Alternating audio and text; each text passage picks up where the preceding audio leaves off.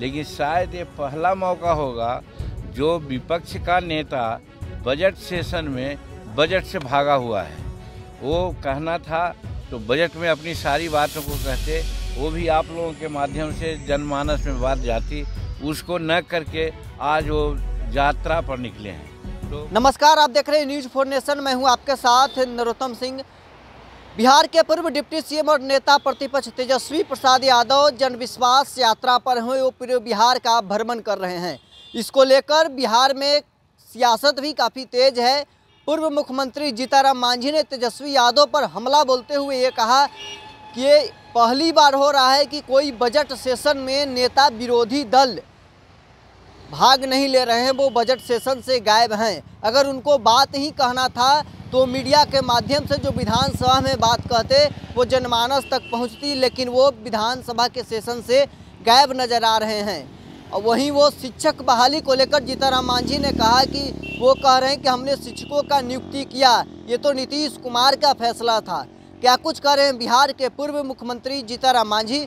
सुनवाते हैं आपको इस वीडियो में। आज यहाँ से एक प्रचार रैली भी, प्रचार गाड़ी भी निर्गत होगी।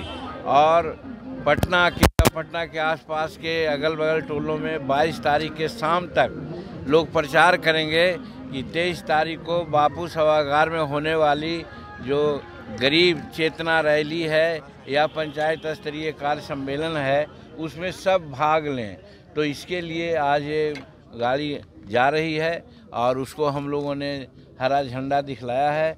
हम उम्मीद करते हैं कि बापू सभागार में तो ऐसे दस हज़ार की कैपेसिटी है, लेकिन कम से कम पंद्रह बीस हज़ार आदमी आवेंगे और उनको समक्ष हम लोग अपनी बात को रखेंगे और इसीलिए प्रचार प्रसार की बात हो रही है। यात्रा निकाले हुए जन विश्वास यात्रा है निकाले हुए हैं। देखिए तेजस्वी प्रसाद जी निकाले हैं वो व्यक्तिगत मामला है उनका हम लोग नहीं कर सकते हैं। लेकिन जहाँ तक हमारा अनुभव है राजनीति का चौवालीस साल से हम राजनीति में हैं लेकिन शायद ये पहला मौका होगा जो विपक्ष का नेता बजट सेशन में बजट से भागा हुआ है। वो कहना था तो बजट में अपनी सारी बातों को कहते, वो भी आप लोगों के माध्यम से जनमानस में बात जाती, उसको न करके आज वो यात्रा पर निकले हैं। तो मैं समझता हूँ कि ये जमहूरियत के खिलाफ बात उन्होंने किया है, और रही बात जो इशू उठा रहे हैं वो, कह रहे हैं कि सत्रह महीना में हमने सब काम किया। लगता है बिहार का मुख्यमंत्री तेजस्वी प्रसाद ही थे। ये इसका मतलब है कि संविधान का उनको ज्ञान नहीं है कि मुख्यमंत्री होता है, वही सब निर्णय लेता है, काम करता है।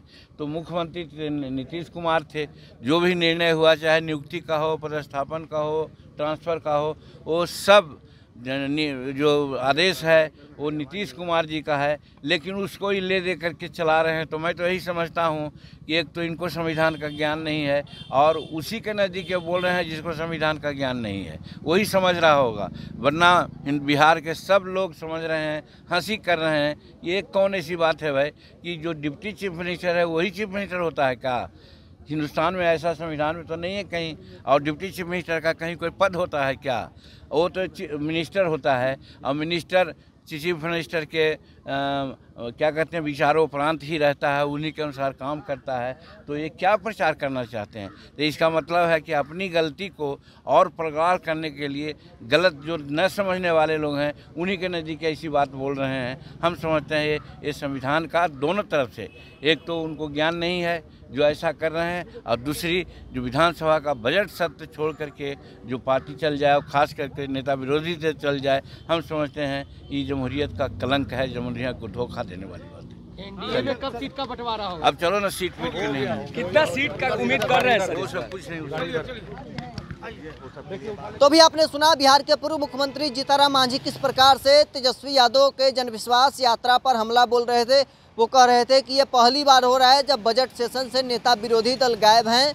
अगर उनको बात ही जनता तक पहुंचाना था तो वो आप लोगों के माध्यम से विधानसभा में भी बोलकर जनता तक, जनमानस तक अपनी बात को पहुँचा सकते थे, लेकिन वे विधानसभा के सेशन से गायब नज़र आ रहे हैं। और क्या कुछ कहना था? जीताराम मांझी का आपने सुना। अभी तक के लिए बस इतना ही। आप बने रहे न्यूज़ फोनेशन के साथ।